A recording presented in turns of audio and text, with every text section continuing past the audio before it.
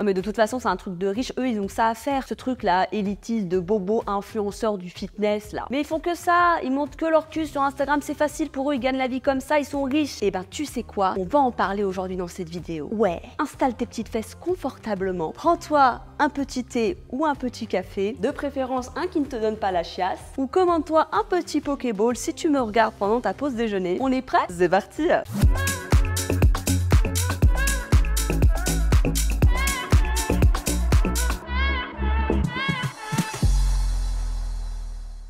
Salut à toi, c'est Justine, ta fit girl préférée. Oui, on va dire que je suis ta fit girl préférée. Ok, t'as cliqué sur cette vidéo, tu n'as plus d'autre choix que de jouer le jeu. Je suis désolée. En plus de ça, je suis malade, j'ai mal à la gorge, j'ai un rhume, donc j'ai passé une semaine de merde. Donc tu vas me faire plaisir, ok? Tu vas jouer le jeu. On est d'accord, on fait comme ça? Merci. D'ailleurs, puisque je suis ta fit girl préférée, oui, je force. Je t'invite tout de suite à t'abonner à la chaîne, à me lâcher un petit like pour soutenir cette vidéo et soutenir mon travail dans l'algorithme YouTube et pour bien la référencer. Et si en plus de ça, tu fais partie de la team des fidèles, petit pancake bien fluffy fluffy, eh bien je t'embrasse encore plus sur tes petites fesses bien dodues, musclées bien sûr.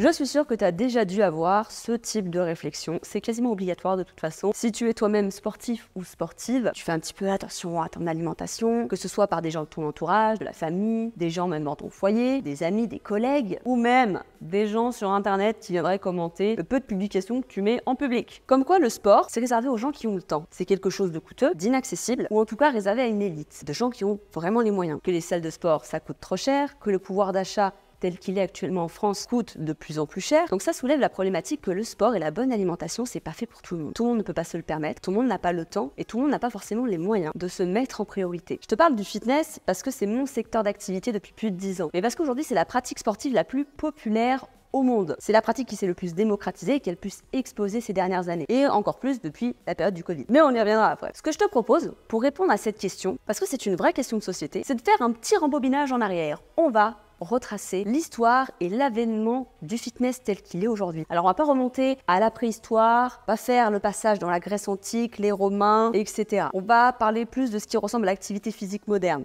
Au début du XXe siècle, c'est là qu'on commence à voir se développer les premiers équipements de fitness, qui sont beaucoup plus axés sur le système de résistance que le travail avec des poids libres. À cette période-là, au XXe siècle, tout le monde ne pratique pas le sport. C'est réservé principalement aux hommes, même si quelques femmes s'y mettent, et à une certaine catégorie de la société qui ont accès à ce type de machine souvent réservé aussi aux sportifs, puisque c'est le début de la préparation physique. On complète certains entraînements athlétiques par justement ce qu'on va appeler aujourd'hui du renfort. Peu à peu, l'industrie du fitness commence à se mettre en place, et ce, un peu partout dans le monde. C'est là qu'on voit apparaître les premiers concepts de compétition, de sport spécialisé, et c'est l'émergence d'un marché du fitness qui sera un peu plus organisé. On va voir l'avènement également des sports les plus populaires, l'athlétisme, le football, et au cours des décennies qui vont suivre, l'industrie du fitness et du coaching sportif entre en plein boom avec l'arrivée du bodybuilding, l'utilisation de machines de plus en plus sophistiquées, l'arrivée des premiers équipements de musculation à domicile, qui pareil, à ce moment-là, touche une partie assez aisée de la population, et même à cette époque-là, tout le monde ne pratique pas le sport comme aujourd'hui. Le XXe siècle, c'est également l'apparition des premiers DVD et de méthodes innovantes du Pilate, du Power Pilate, du Wii Fit.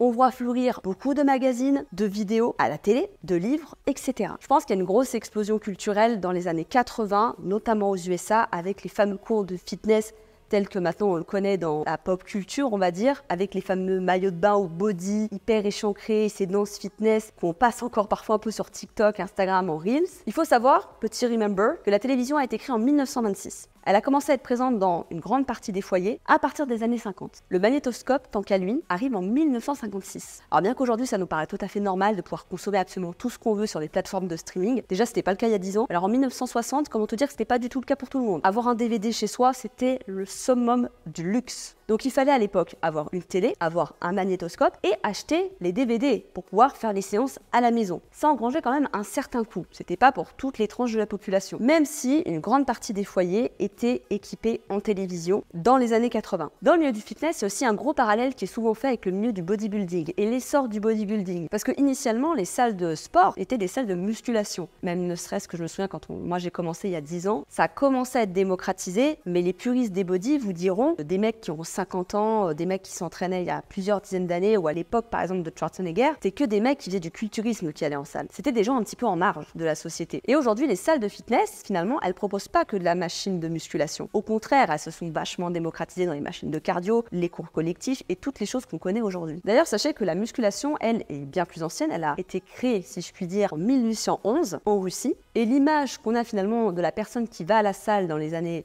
80-90, c'est celui d'un bodybuilder. Ça correspond pas à toutes les tranches de la population. Tout le monde ne se reconnaît pas là-dedans. Le concept d'aller en salle juste pour prendre soin de sa santé et développer un peu son physique sans ambition de compétition n'existe pas vraiment. Ou en tout cas, un degré très très faible. Ces bodybuilders, ils ont une hygiène de vie irréprochable, quasi militaire, pour l'objectif de compétition. Et en plus de ça, ils ont deux modes de vie qui sont malgré tout assez coûteux. Aller à la salle deux fois par jour, consommer énormément de protéines et le volume des courses alimentaires sont énormes en prise de masse pour un homme, plus le prix des produits dopants.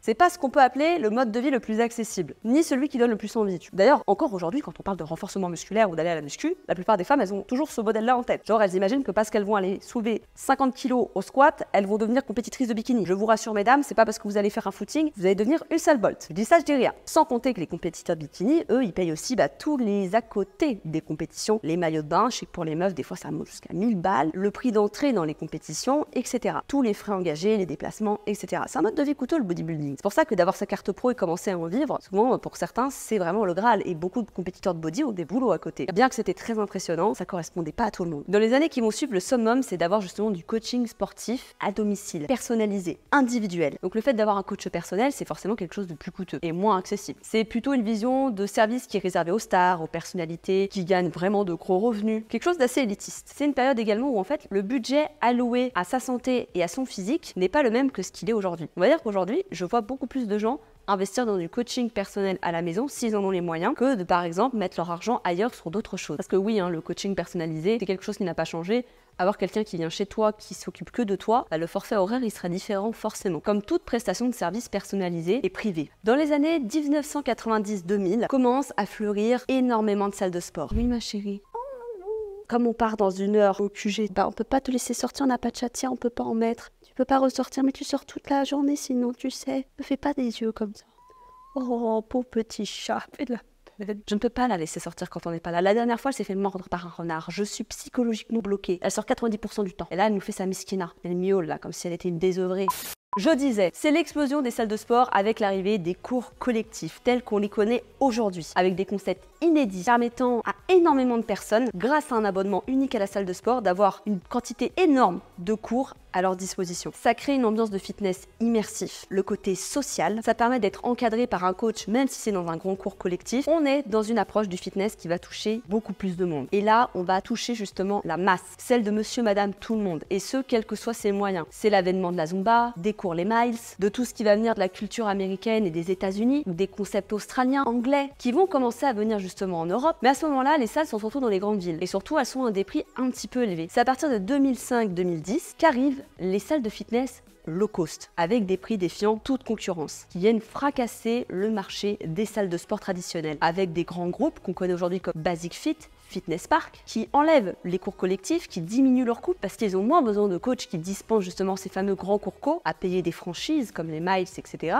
Mais qui donnent accès à du matériel fitness, poids libre, machine guidée, machine de cardio, avec une amplitude horaire très grande. Et ce, dans de plus en plus même de petites villes, voire même dans les campagnes. Il y a 15-20 ans, c'était assez rare d'avoir dans un patelin vraiment paumé une salle de fitness. Aujourd'hui, c'est beaucoup plus commun. Ils viennent du coup taper dans une cible de gens qui ont des faibles revenus ou même les étudiants ou les jeunes, permettant ainsi d'être dans un espace avec tout le matériel qu'on ne pourrait pas se payer chez soi pour des questions de coût ou de place, d'avoir la possibilité de s'entraîner quand on veut, là où par exemple des cours de boxe c'est à 18h, ton cours de natation ou de poney, c'est à 19h, c'est que les mercredis, c'est que les week-ends. La salle de sport, ça permet une accessibilité à sa pratique hyper flexible. Et surtout, c'est dans un espace fermé, sécurisé. Donc on peut y aller l'été sur les fortes chaleurs comme l'hiver. 2011, c'est la période à laquelle moi personnellement j'ai commencé le fitness. C'était aussi l'avènement du fitness sur les réseaux sociaux en France. Là où, par exemple, dans les années 2005, c'était déjà un petit peu l'essor aux États-Unis. Et là aujourd'hui, vous avez des abonnements par mois pour une salle de sport avec tous les équipements à moins de 30 euros. Et je crois que même si vous prenez des horaires creux, vous avez des tarifs encore moins chers en fonction des offres des salles. Donc c'est à partir des années 2010 qu'on voit aussi fleurir sur YouTube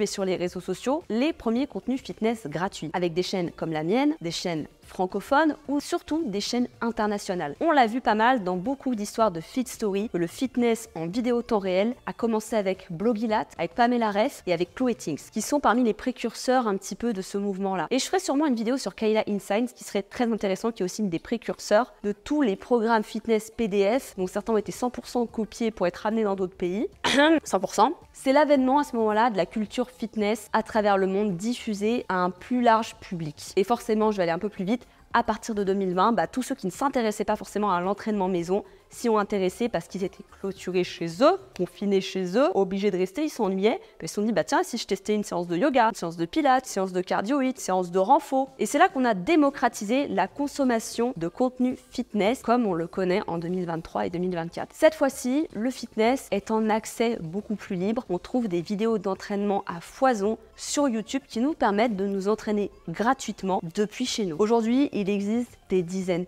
de milliers de vidéos YouTube sur l'entraînement maison, des centaines de chaînes de tout pays, de toute nationalité, hommes, femmes confondus. Aujourd'hui, on peut dire clairement que le fitness, la prise en main, n'a jamais été aussi accessible en termes de prix. On a du coup déjà répondu à cette première question est-ce que le fitness est réservé aux riches? Quand on sait qu'on peut trouver des salles low cost, quand on sait qu'on peut s'entraîner gratuitement à la maison. Et je vais même pas parler encore une fois de mon entreprise, mon application de fitness Fit Fight Forever, te donne accès à des programmes hyper complets qui te permettent de t'entraîner pour seulement 8 euros par mois, voire moins quand on fait des promos. C'est-à-dire un service de haute qualité avec une pluralité de disciplines et de contenus allant du pilate, du stretching, de la méditation, des morning routines, du fitness, de la corde à sauter, de la boxe et des programmes de musculation en salle personnalisée. Pour 8 balles, c'est cadeau. On en vient donc à la deuxième problématique. Oui, mais le fitness, c'est pour les gens now. Qui ont le temps. Moi, je dirais, le fitness, c'est réservé aux gens qui prennent le temps. La première remarque que je reçois personnellement souvent, oui, je sais qu'il y a des gens qui n'aiment pas que je parle de moi. Allez vous faire foutre, vous êtes sur ma chaîne YouTube, je parle de moi pendant 5 secondes de mes vidéos, certains ils me cassent la tête. Si vous n'êtes pas content, allez regarder Arte. Voilà, ici vous êtes sur Justine Galis Fitness Channel, ok?